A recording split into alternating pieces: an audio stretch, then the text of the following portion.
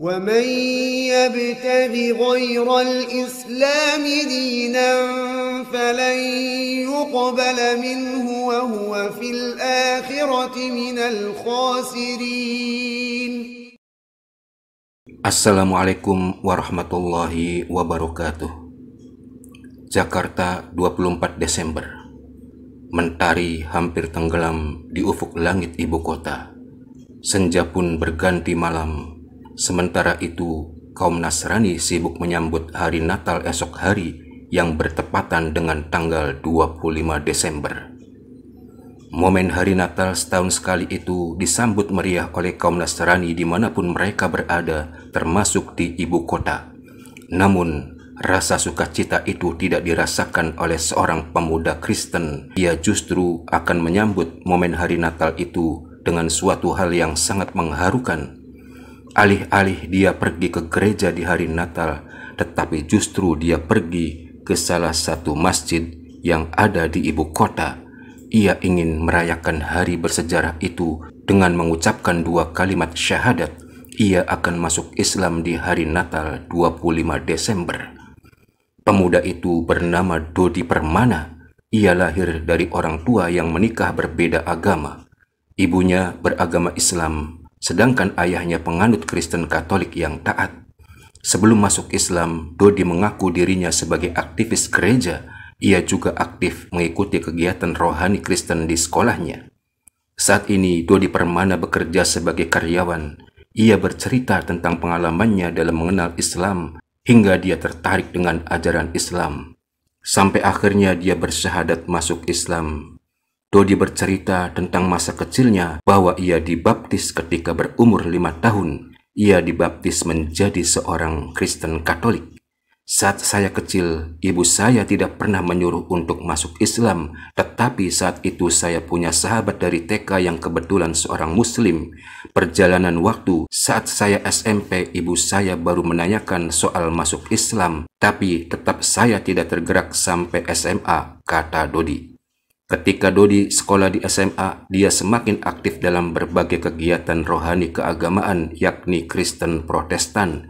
Di antaranya adalah dia aktif dalam persekutuan doa. Saat itulah Dodi berada dalam proses pencarian tentang hakikat Tuhan. Tanpa disadari, saya tuh merasa ada sedikit pertanyaan kok di agama Katolik biarawan-biarawati tidak boleh menikah. Lalu ada pertanyaan juga kenapa ada yang menyebut Tuhan kita Yesus Kristus tapi di berbagai kesempatan saya lihat juru selamat kita Yesus Kristus, kata Dodi. Dodi pun mulai berpikir bahwa Tuhan dan juru selamat adalah dua personal yang berbeda. Menurut keyakinan Dodi bahwa Tuhan itu Maha Esa, bahkan dalam Pancasila sila pertama disebutkan ketuhanan yang Maha Esa. Tapi kenapa ada Yesus Kristus? Nah, di sini juga ada pastor yang menyebutnya juru selamat dan saya cenderung lebih nyaman ketika mengikuti misa ada kata-kata juru selamat kita Yesus Kristus, bukan Tuhan kita Yesus Kristus, kata Dodi.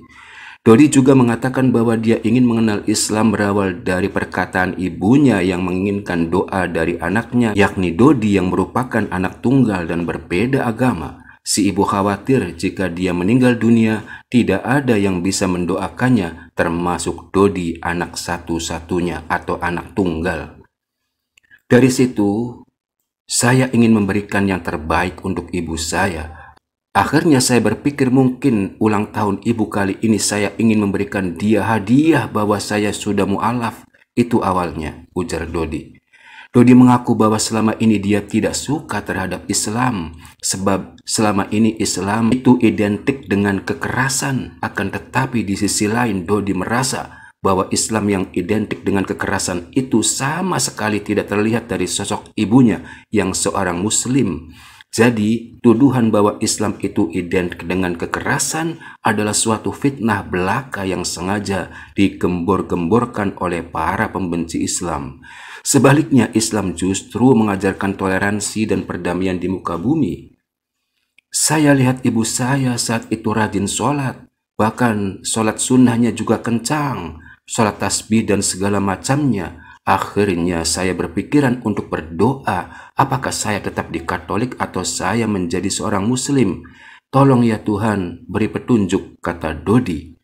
Hari berganti hari, keinginan Dodi untuk belajar sholat semakin kuat, hingga akhirnya Dodi mengerjakan sholat secara sembunyi-sembunyi di rumahnya dan beberapa kali sholat Jumat di masjid meski dia belum menjadi muslim. Sampai akhirnya suatu saat ada sahabat saya dan bilang ke dia bahwa sholat saya sudah benar atau belum ya? Tanya Dodi. Hingga suatu ketika dalam momen 25 Desember pada saat misa pagi hari, Dodi pun bertekad bulat ingin masuk Islam. Ia ingin memilih Islam sebagai agama pilihannya. Sebelum bersahadat, Dodi mendekat ke altar untuk berdoa terlebih dahulu. Saya berlutut di depan altar, saya mandang itu patung, saya berdoa. Ini terakhir kali saya memanggil engkau, tapi bukan berarti saya meninggalkanmu. Saya hanya ingin memanggilmu dengan sebutan lain yang lebih indah, yaitu Nabi Isa. Di situ saya nangis sejadi-jadinya, kata Dodi. Saat ulang tahun ibunya, Dodi memberitahu kepada semua niat dia ingin masuk Islam. Ibu Dodi sendiri kaget dengan perkataan tersebut. Mah, saya enggak mau ngasih apa-apa. Saya cuma bilang, saya sudah Islam saat ini, ungkap Dodi. Yang benar, kamu lagi naksir siapa? Tanya ibunya seakan tidak percaya. Enggak naksir siapa-siapa, Bu. Saya kepingin aja, jawab Dodi. Akhirnya Dodi mengucapkan dua kalimat syahadat di Masjid Sunda Kelapa, Jakarta Pusat dengan disaksikan oleh beberapa sahabatnya, orang tua dan dosen yang telah memberi inspirasi bagi Dodi saat kuliah. Allahu Akbar. Demikianlah semoga Dodi Permana tetap istiqomah dalam iman Islam dan menjadi hamba Allah yang bertakwa hingga akhir hayatnya. Amin ya Rabbal Alamin. Terima kasih telah menonton channel Islam Trending TV. Jazakumullah khairan kathiran. Wassalamualaikum warahmatullahi wabarakatuh.